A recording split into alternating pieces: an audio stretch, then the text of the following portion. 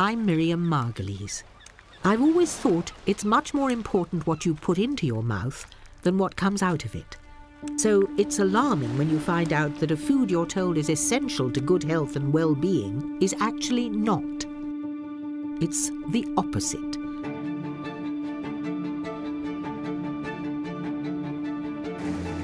What is more dangerous is when the truth is withheld or discarded in favour of profit, potentially doing harm. I'm talking, of course, about industrially farmed Tasmanian Atlantic salmon. Not that this fish has ever swum in the Atlantic, nor, for that matter, swum anywhere, but in a cage, fin to fin, with thousands of its kin.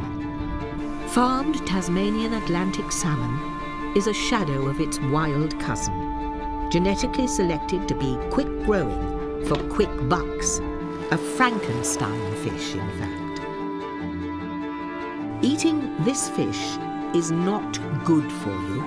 Its unnatural diet sees to that. Industrial preservatives, trans fats and saturated fats, all there as a result of the chicken feathers, beaks, feet, carcasses and additives used to make its breakfast, lunch and dinner.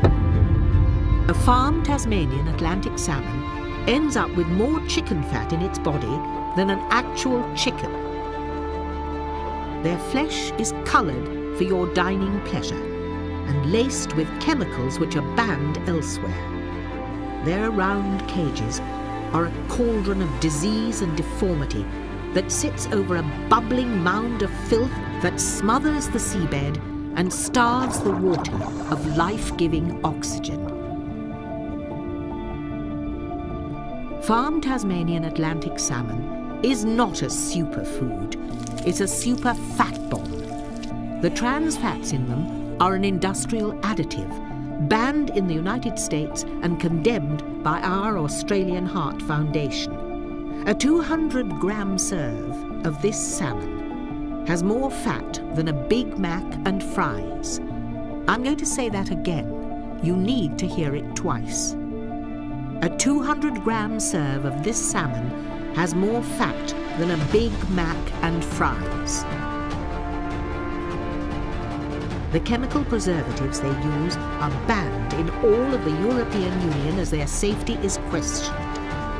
Think, if you will, of these toxins as they make their way into the breast milk of a nursing mother after eating this fish. A duty of care is required by all those that farm and grow our food. It's a right we're entitled to. Foods recommended as healthy must be just that, healthy.